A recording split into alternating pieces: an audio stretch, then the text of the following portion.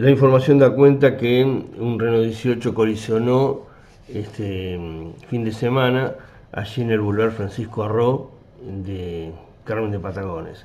De acuerdo a lo que trascendió, el hombre dio negativo en el control de alcoholemia, pero de cualquier manera le hicieron una infracción porque eh, aparentemente no tenía el carnet de conducir. Eh, con respecto al siniestro en sí mismo, ocurrió cerca de las 9 de la mañana, poco antes.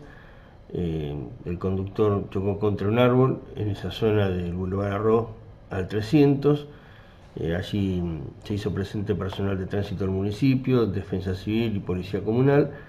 Eh, hicieron el test de alcoholemia, repito, dio negativo, pero de cualquier manera al hombre le hicieron una infracción porque no tenía el carnet de conducir. No fue nada importante, más allá de los daños materiales, por suerte no hubo que lamentar ningún otro tipo de situación mucho más compleja.